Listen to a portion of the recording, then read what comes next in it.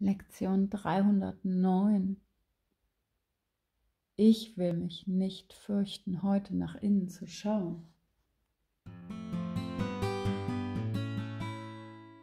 Irgendwo heißt es im, im Textbuch, dass das Konzept von einem Einssein, also dass äh, hier diese Verbundenheit ähm, in der in dem Ausmaß so sei. Es, äh, das übersteigt einfach unser Verständnis weil wir da so sehr in der Dualität festhängen.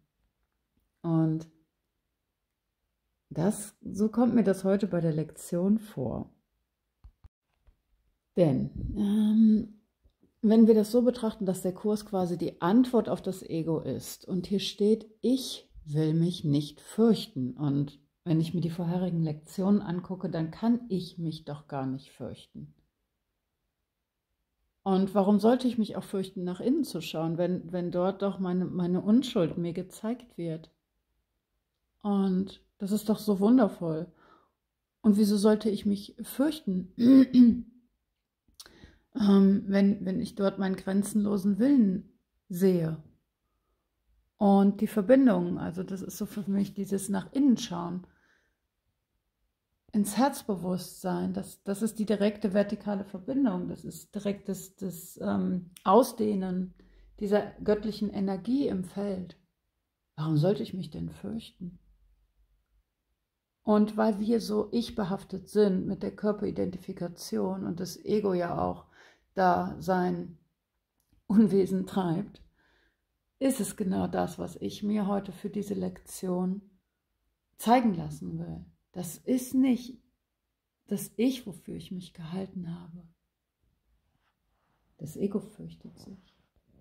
Weil hier all das, wo das Ego dem Ganzen über den Körper, über die Formen, dem ähm, Wirklichkeit verliehen hat, und es, es sind wir ehrlich, es, es fühlt sich wirklich an, diese ganzen Zustände, oder? Und da ist die Furcht. Da ist die Furcht, weil das Ego natürlich einen anderen Willen gemacht hat, der nicht wahr ist, weil das Ego Gott spielen wollte die ganze Zeit. Und weil das Ego dem Ganzen die Wirklichkeit verliehen hat. Und da gehe ich natürlich in so einer Meditation beispielsweise voll drauf ein, denn ich weiß nicht, ich habe schon echt ein paar Dämonen erlebt in so einer Meditation. Ja, so ein paar sehr, sehr störende Gedanken und Gefühle. Und es ist echt auch zeitweise nicht schön gewesen. ja, und das ist diese Furcht. Ne? Das ist ja so auch dieses, das Ego dreht sich im Kreis. Ja, es, es will ähm, und scheinbar beschützen. Es tut so, ja. Ähm, und, und bindet uns in diese, diese Sünde mit ein, Schuld, Angst und ähm, ja, und diese Schuld umfasst alles, weil die ja auch so kommuniziert wird, dass wir keinen Ausweg daraus haben. Weil da gibt es doch diesen strafenden Gott. Und unser Leiden wird nur durch den Tod äh, beendet, oder? Also das ist das, was ich bis jetzt immer so ähm, dachte früher. Also da, da gäbe es keinen Ausweg. Ich, ich habe mir dann ganz viele Methoden und Tools ähm, angeeignet. Und das war immer wie so ein Ping-Pong-Ballspiel was angewendet, was wieder gemacht, ja, über, über die, das Ego-Mind natürlich. Das Ego will uns ja immer retten die ganze Zeit, mit, mit den besten Absichten natürlich. Und ja, so hüpfen wir durch diese ganzen verzerrten und, und gespaltenen Persönlichkeitsanteile, die sich da scheinbar auftun und erkennen unsere wahre Identität nicht. Und das ist es, wo auch, glaube ich, diese Angst so, so, so groß also die wird ja nicht größer, aber das scheint so, wenn wir dann in die Stille gehen, wenn wir nach innen schauen wollen. Ich kenne das noch so, wenn, wenn ich dann gesagt habe, so, jetzt gehe ich nach innen, ne, okay. Ey, da waren um 7 Uhr morgens plötzlich die Fenster geputzt. die ganze Wohnung und ich weiß nicht, ich habe alles gemacht, ich habe mich nur nicht hingesetzt und, und meditiert. Also da, da, da hat wirklich dieses, diese Fehlwahrnehmung so die Kontrolle übernommen, dieses, dieses Körperliche wurde so dafür verwendet, alles zu tun, nur nicht nach innen zu schauen. Ähm ja, also es, es ist wirklich hier liebevoll, dieser, dieser Ego-Gedanke, diesem Ego-Konzept, daran vorbeizugehen raus aus dieser Albtraumwelt. Und an der Stelle nochmal, selbst wenn du gerade Liebe durch einen Partner erfährst, deine Kinder, Eltern etc.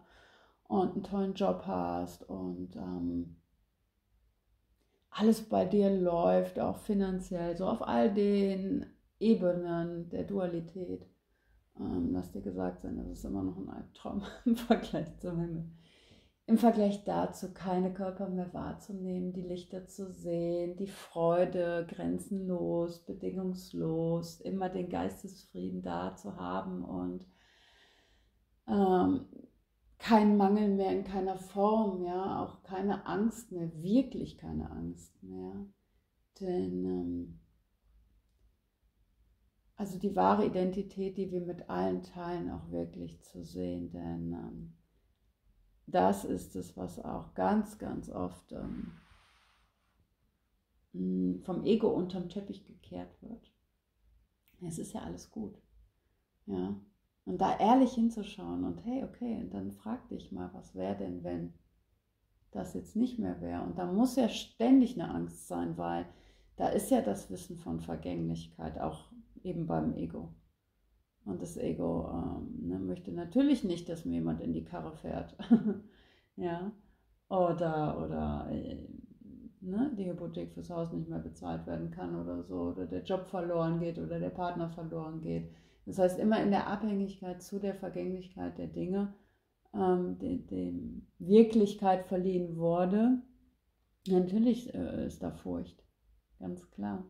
Und daran gilt es halt vorbeizugehen, wenn wir nach innen schauen. Aber das sind äh, nicht wir, die da wirklich Angst haben. Nicht unser So-Sein.